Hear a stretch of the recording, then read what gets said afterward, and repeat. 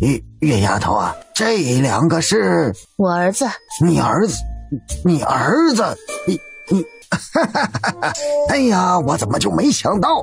哎呦，我怎么就是没想到呢？原来你是小莫的母亲。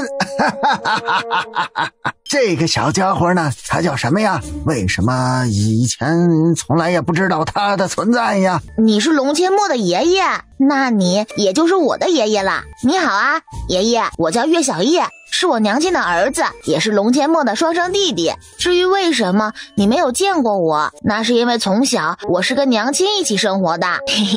哎呦，臭丫头，你你你怎么不告诉我呀？你也没问啊。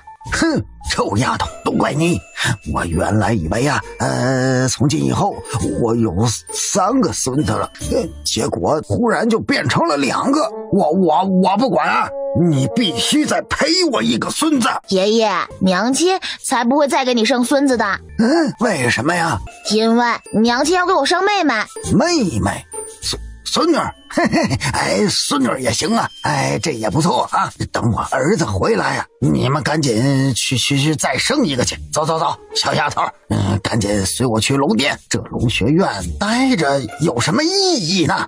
老龙主，莫不是忘了我们之间的约定？什么约定？我怎么不记得呀？当初您说过，不得凭借任何力量走快捷径，只能靠自己的实力一步一步前行。所以，我现在不能跟您去龙殿。哎呀，我这是把我自己坑进去了吗？是的，娘亲去哪，我就去哪。